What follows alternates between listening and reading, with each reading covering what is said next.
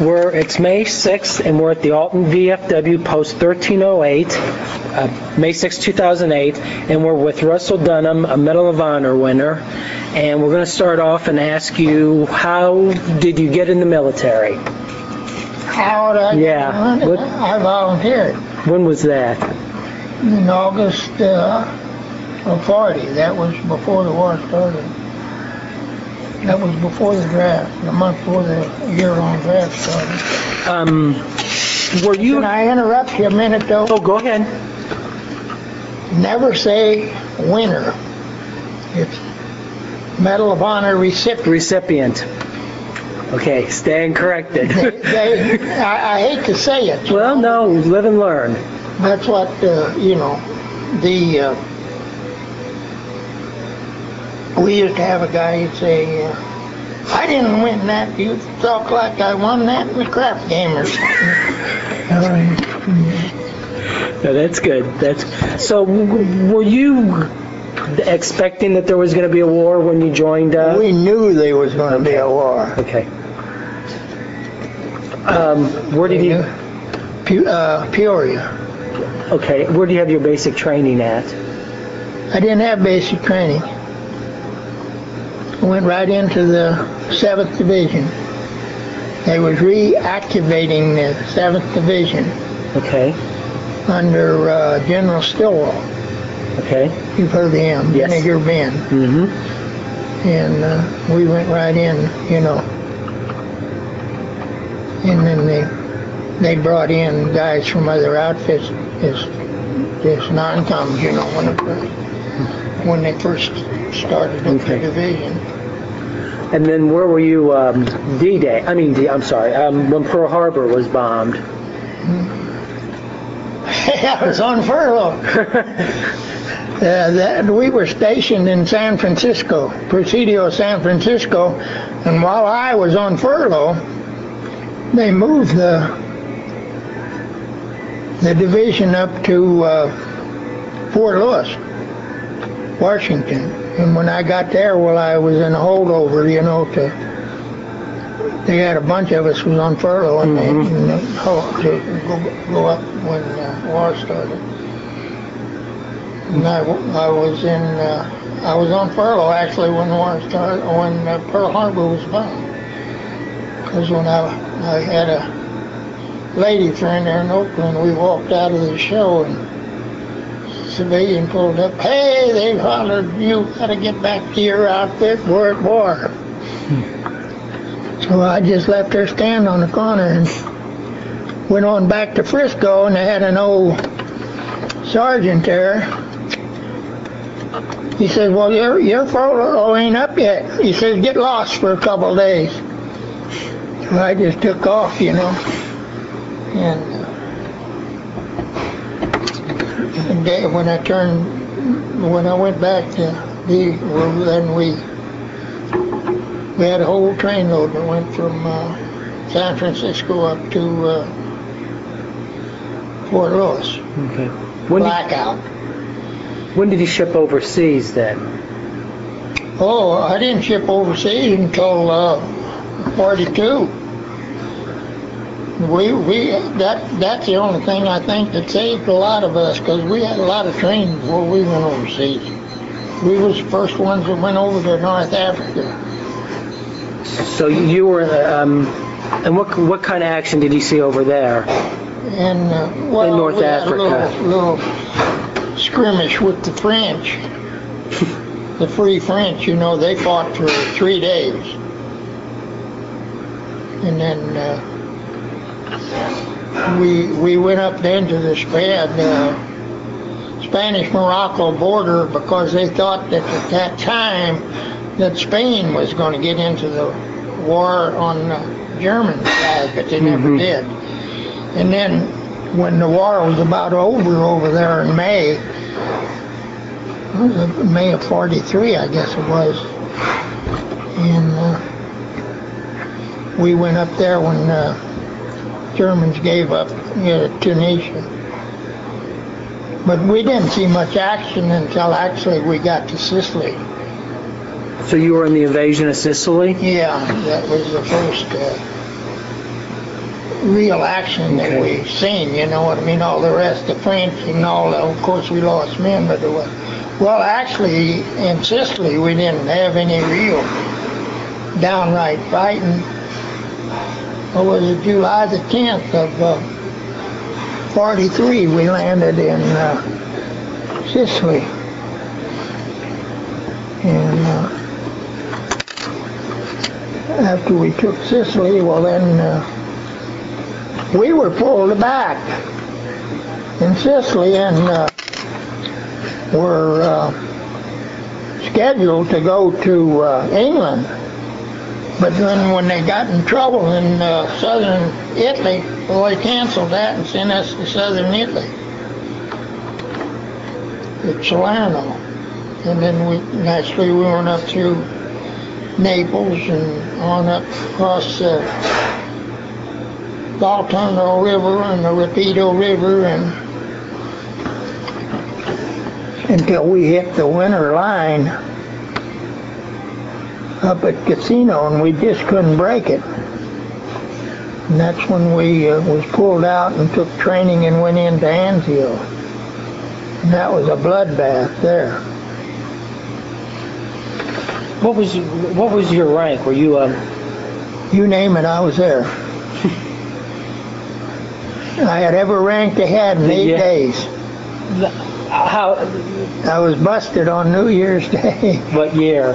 Huh? What year was that? Do you remember? Night fo- 1945. War was about over. That was eight days before I got the Medal of Honor. Okay. Um, so after Anzio, what happened next? Well, we pulled back and went back and took training and went into southern France. At Toulon, near Marseille, Marseille, down in uh, southern France. Okay. And we walked all the way up through France.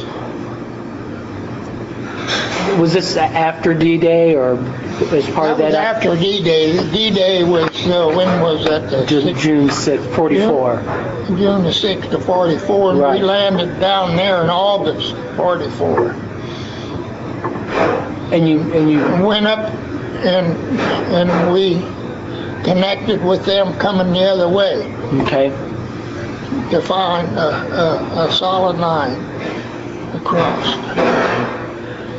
Whose army was that?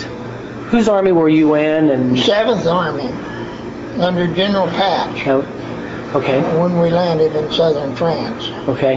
We was under uh, Clark in I- Italy and Patton in Sicily. What were those guys like? Well, I don't know. They're just army officers. That's all. I don't. know. I never did. but I guess Patch was the best one we had. He was more of a soldier's. Uh, uh, Patton was actually a big blowhard. I mean, you know, he uh, done a lot of talking and Mm-hmm. bragging, and but he did treat the enlisted men pretty well. But boy, he he was rough on his officers. Hmm. Okay, you, you're you're in France now.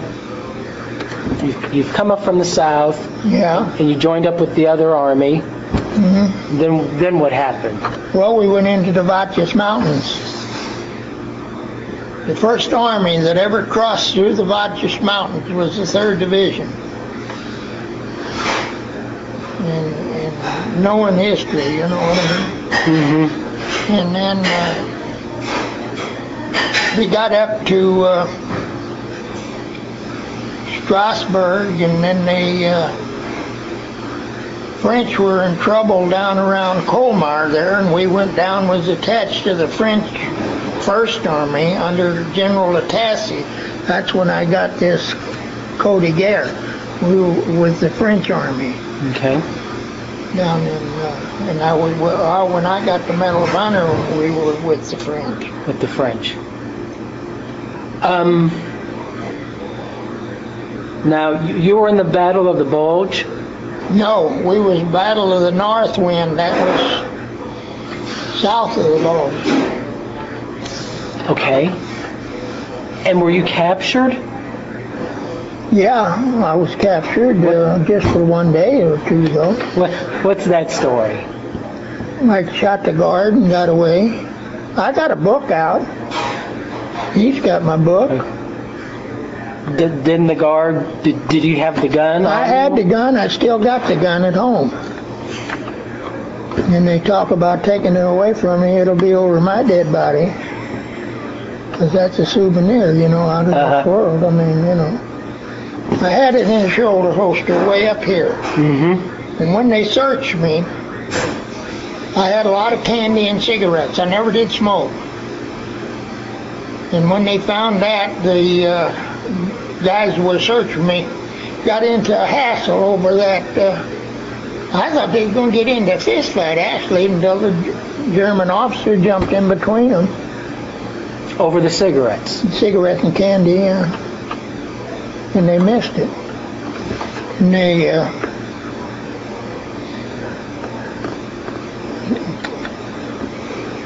they took me back. That was about, I captured about, oh, just after daylight. I don't know what time it was. But anyway, about four o'clock that afternoon, they started to take me back and they, it was a, I don't know whether it was the uh, Rhine River or uh, it was the uh, canal. But anyway, there was a bridge there. And our planes were lined up bombing that bridge, and they were going to take me across that thing.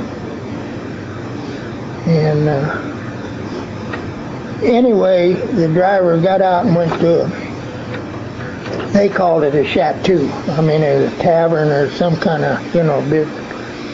Left me there with the guard, and sh- the guard about half asleep, and I pulled my gun and shot him. Ooh, I hated that. It bothered me all my life. Hmm. You still see him, you know, fall forward with blood coming out of his mouth, you know. But what are you going to do? I mean, you know, and I jumped out of the Jeep and went around and come back to Holtzwihr. That's where they captured me, was Holtzwihr. That's where uh, Audie Murphy got the Medal of Honor. He was the same outfit I was with, third division. So after you escaped, what, how did you get back to, to safe, well, what would be safety? Huh? How would you, how did you get back to safety or Well, we were lucky. We all had on mattress covers. The Germans had on the same thing we did. They was dressed in that white. You couldn't tell the difference un- unless you talked to them. You know what I mean? Mm-hmm. And uh, when I first went in back into the place I was captured, I had that thing under my arm, and I thought, oh boy, I got to put this on. You know, I put it on. It was just a mattress cover with uh, holes in for your sleeves, you know. And uh, now uh, I, I guided on. I could still hear our cannon shooting. I was that close, you know. Well, you can hear them maybe for 35 miles, I mm-hmm, guess, you know. Mm-hmm. I mean, whatever. And I knew the sound of our guns. That's where I had to get. It Was back to them, you know. And I tried to retrace my steps as to where we'd come through the day before. And I uh, traveled all night. And the next day I knew I had to hide, so I just hid in a shell hole. And then the next next night, well, I come on back across the lines.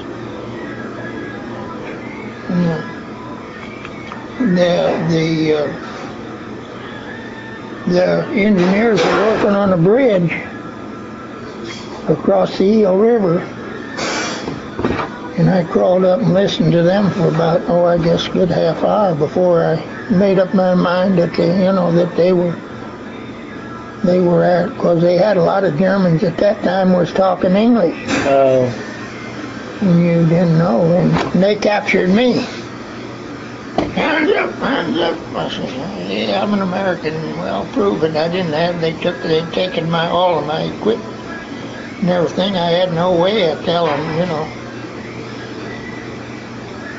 How long did it take to straighten that out? Well, I, they marched me over to the our sister regiment, which was the 15th Infantry, and they had a big medical tent there.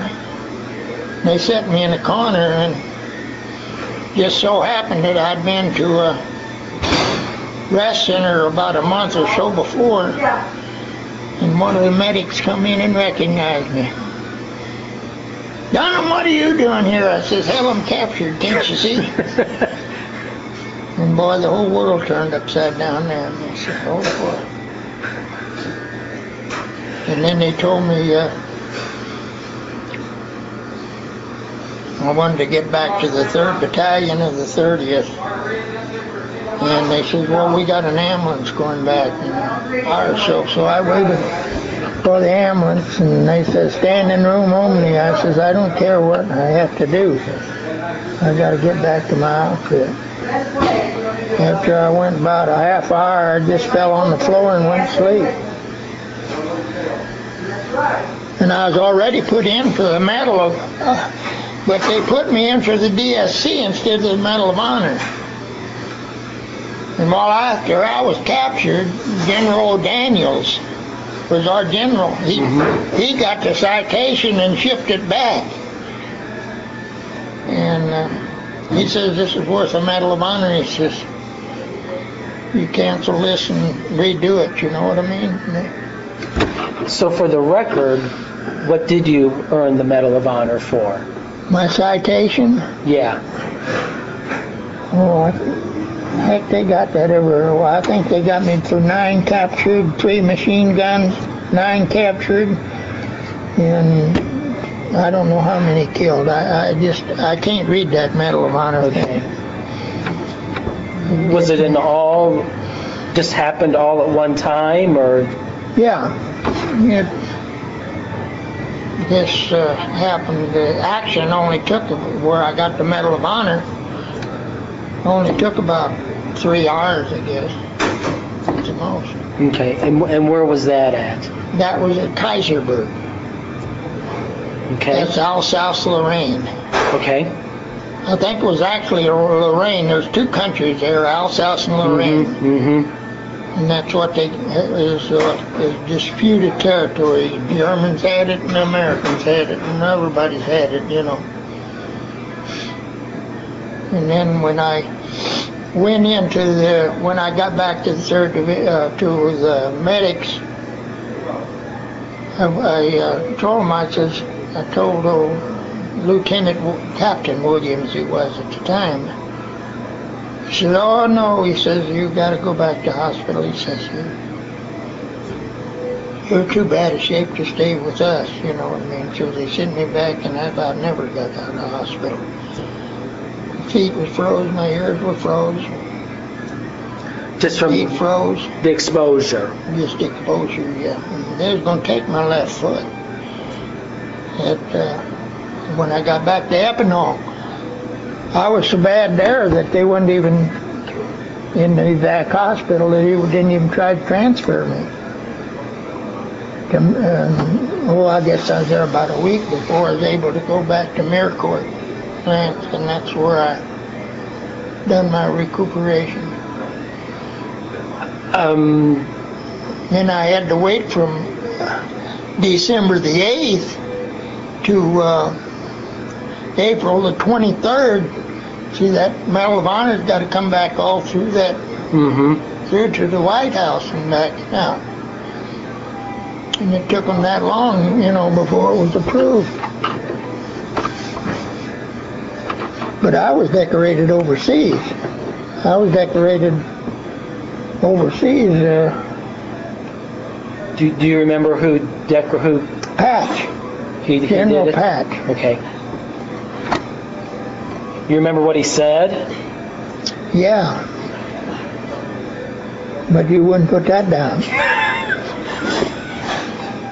But he, but he made it a personal message. Yeah. Says, don't you ever take no crap off of nobody. He says, you, if they go pushing you around, you. But naturally, I mean, you know, them guys, they talk big, but I was uh, uh, decorated in Nuremberg. You've seen them blow that. Mhm. I was decorated. They blew that off, that swastika off. Oh, is that when they did it? Zeppelin Stadium, yeah. hmm Oh, okay. Fact is, about killed a Jeep driver because piece that metal hit a Oh, Jeep driver. were, were there other people decorated at There that was time? five of us. Okay. Colonel Ware, Dominic, myself, Adams, and Ross. Ross and I is the only two living. Adams and I were real good buddies. Not many, Spanish. not many Medal of Honor winners, uh, recipients. Our division had the most. The third division of World War II.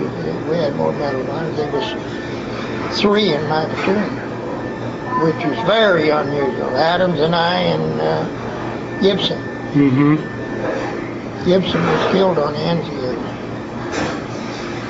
Did, did you ever think that you were in the middle of something that was so big and historic? Did that strike you any? Not, not, not necessarily. No, I didn't. Uh, but they always told us this is a war. There'll be no more war.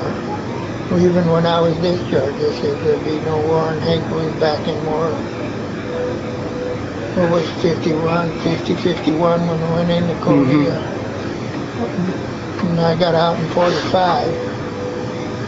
Okay. Um, what what did you do with your during your life I worked for the VA all my life. for the VA? Okay. I was worked in Vietnam, I worked in Korea, I worked in Italy, and I worked in Germany. And what did you do for the VA? Consular. Over there, you know, I, in Nam, we talked to the guys right before they caught the plane. We had what they called a captive audience. There wasn't nothing else they could do, you know what I mean, but wait for the plane. Mm-hmm. And, uh, And what did he tell them?